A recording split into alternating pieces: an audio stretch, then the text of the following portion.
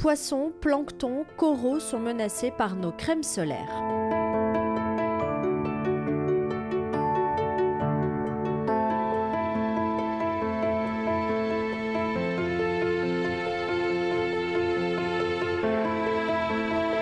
Comment faire quand dans le même temps 80 000 nouveaux cas de cancer de la peau sont diagnostiqués chaque année?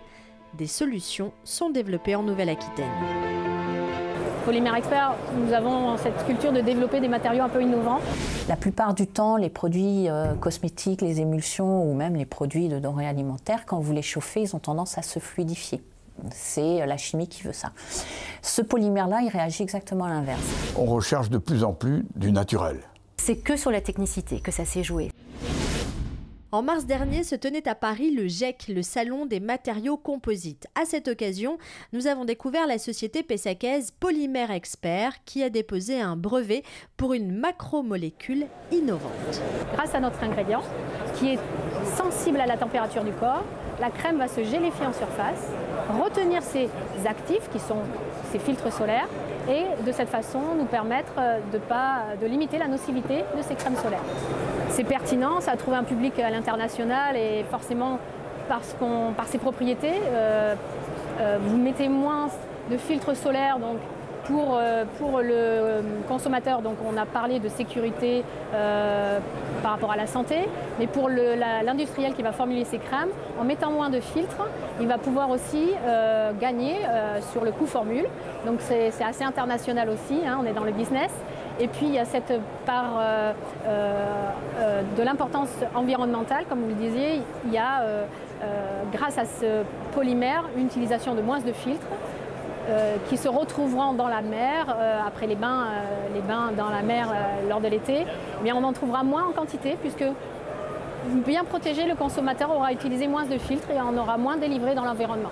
Donc ça parle à tous et ça a trouvé son public partout dans le monde. Polymère Expert, nous avons cette culture de développer des matériaux un peu innovants et ce qu'on appelle les smart polymères, donc les polymères intelligents qui vont réagir à un stimuli, une température, des UV, qui vont se colorer, qui vont s'épaissir en fonction euh, de conditions extérieures. Donc c'est comme ça qu'on arrive à, créer euh, ces nouvelles matières.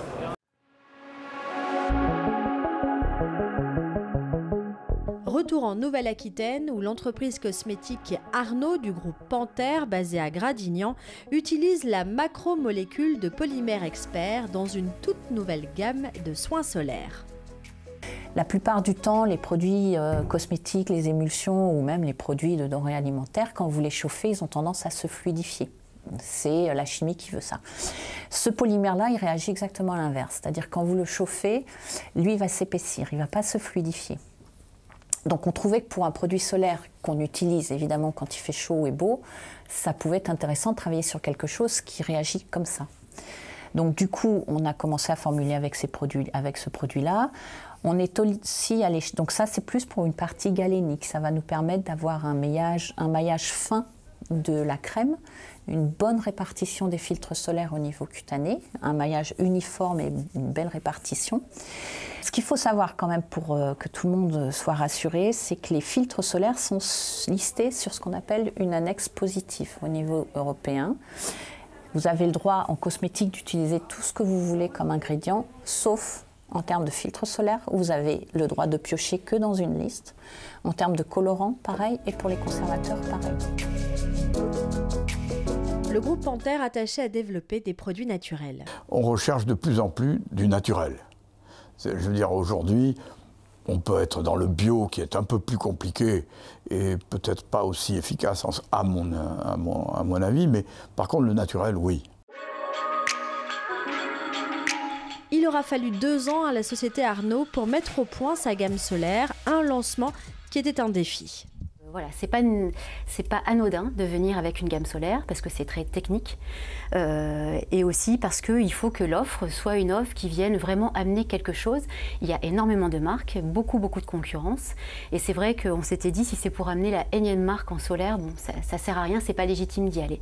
C'est donc sur la technicité que ça se joue. C'est que sur la technicité que ça s'est joué, c'est-à-dire on a vraiment travaillé à se dire est-ce que oui on peut amener une innovation euh, technique? Et, et si on trouve cette innovation alors on aura un vrai sujet euh, solaire et une légitimité pour y aller.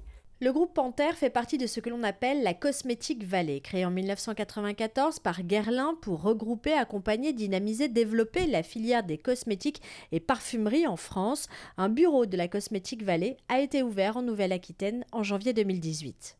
C'est une caution voilà, la, Cosmétique Vallée a une réputation quand même internationale.